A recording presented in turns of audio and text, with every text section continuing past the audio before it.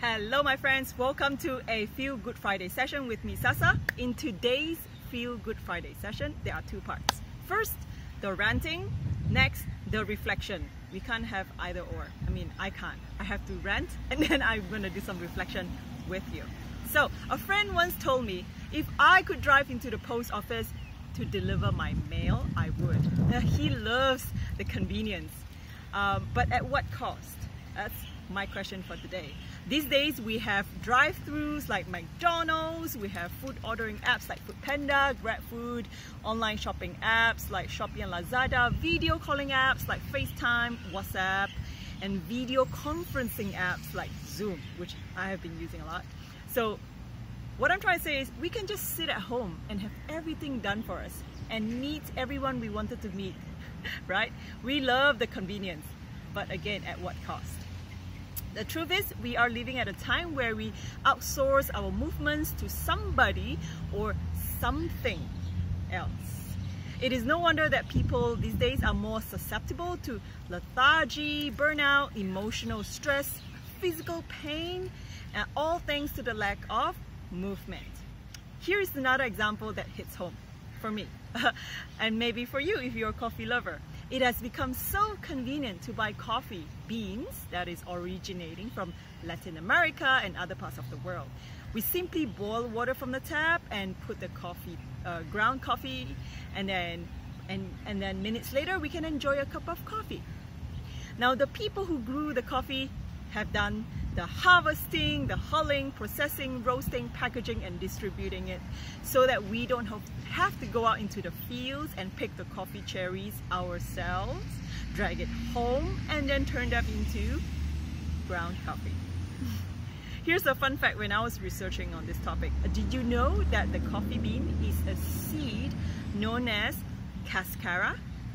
It rhymes with mascara I have to say it just because I thought about it. Or uh, coffee cherry.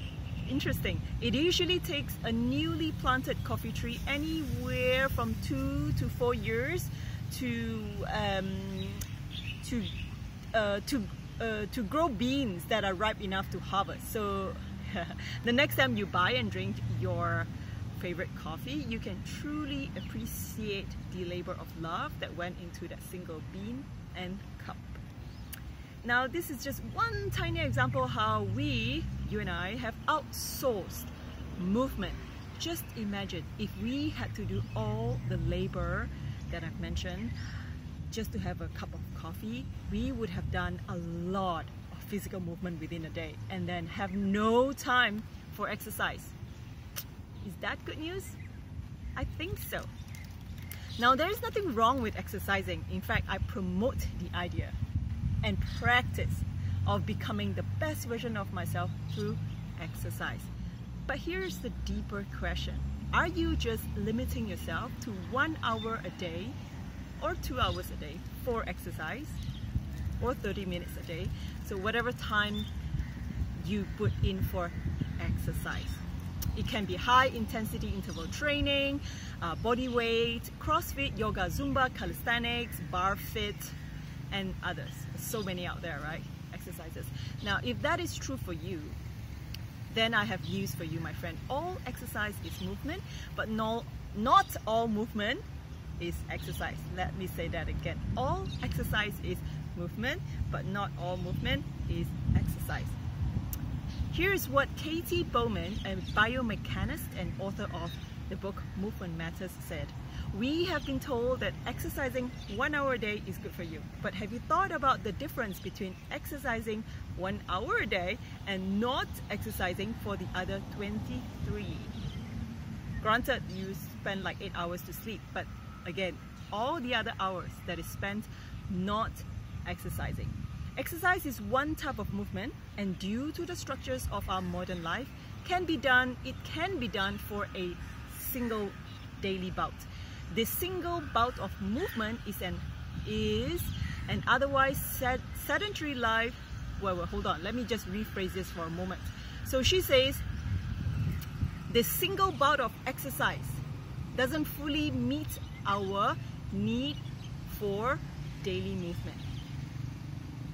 Okay? So she advises that instead of only resolving to exercise, recognize that throughout the day there are opportunities to move in small but frequent amounts. That adds up to your overall fitness level and decrease sedentarism. I need to learn that say the word properly, sedentary. my friend, would you agree that when compared to exercise though, movement is more humble, is subtle, is less spectacular, and easier to practice in dozens of ways throughout our day. Now that means you can't brag about your gains. Mm, no bragging. you can't brag about it because it's so subtle and humble and not so spectacular. There's no bragging on Instagram. Um, for example, if you get off the train one stop earlier, or if you choose the stairs instead of the elevator. So those are movements that you could add into your everyday life. Um, and yet there's nothing to brag about. But I guarantee you, you will see small changes and when practiced consistently over time, it can create big magic in your life. So whew, that was the rant. That was a long one, right? I'm sweating as I'm ranting as well. All right, moving on, time for reflection. Now, let's talk about movement. Movement creates circulation and rhythms that help us breathe better, improve our health on all levels. It doesn't have to be going to the gym if gym is not your thing, and even a 20 minute walk, for example, would bring you great benefit over time. The trick is to find a way that you truly enjoy moving. So what makes you feel good? Is it dancing? Which is, that's mine. Is it swimming? That's mine too. Is it cycling? Nada, not mine. is it yours? Uh, is it hiking? So find movements that light you up. And do it, do it, do it. Move and your body will thank you and in return bring you greater vitality. So type it in the comments. Let me know what type of movements light you up. What type of movements light you up? Ah, dancing, or even parkour. I know, I know a friend who loves doing parkour and she's all about moving the body. Do you also have an exercise related rant? Do you want to rant? Rant it. Rant away in the comment section. So keep making small changes and be consistent because that will create big magic for you. My goal is to encourage you, empower you, and to celebrate you. Lastly, I would like to acknowledge my friends Eleanor, Eleanor, and Devon, Devon, for commenting on the previous video on attention currency. so, I miss you both, Eleanor and Devon, and this makes me want to move my body in ways that light me up. Uh, it like this. I miss you so much. This is me hugging you too shaking, everything is jiggling. Oh my god. So I really look forward to crossing paths with you two again. Until then, stay safe. My name is Sasa. You are watching Feel Good Friday session where you get tips and tools to love yourself a little bit more every day. Till next Friday, let's get lit on movements, shall we? All right, high five, my friends.